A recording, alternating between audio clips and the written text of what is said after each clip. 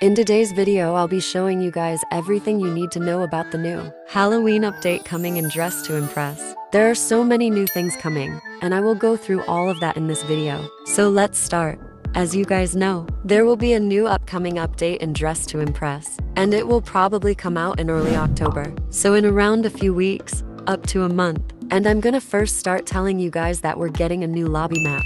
And maybe also a runway and a few spooky stuff getting added in the dressing room, but who knows? So there has been also a lot of sneak peeks of the new obby that we're getting. Well, probably have to enter this portal at Lana's basement to get into the event map. There are three difficulties, easy, medium, and hard. We don't know yet, it will get some sort of reward from completing the obby like dress to impress dollars or a very very secret code. Speaking of codes, we're getting two new code items in the game. First, we're getting this very pretty dress.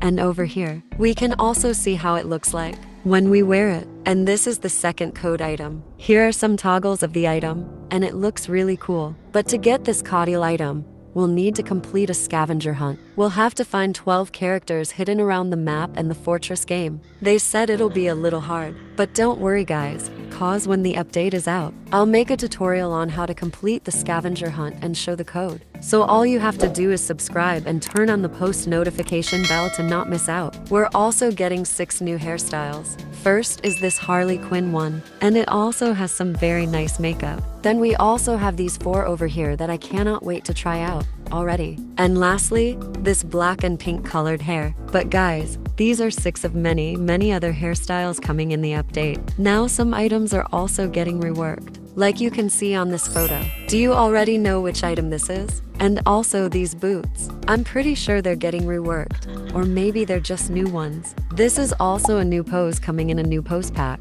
And it's a cutesy heart, and I think people will become demure when they use it. There are also tons of dress to impress Halloween logos made and they look so spooky. Anyways, those were all the sneak peeks I could give to you guys for today. There are a lot of other stuff coming too, but these were just the sneak peeks. Like this video if you're excited for the update, and comment what your most favorite part is from it. Bye everyone!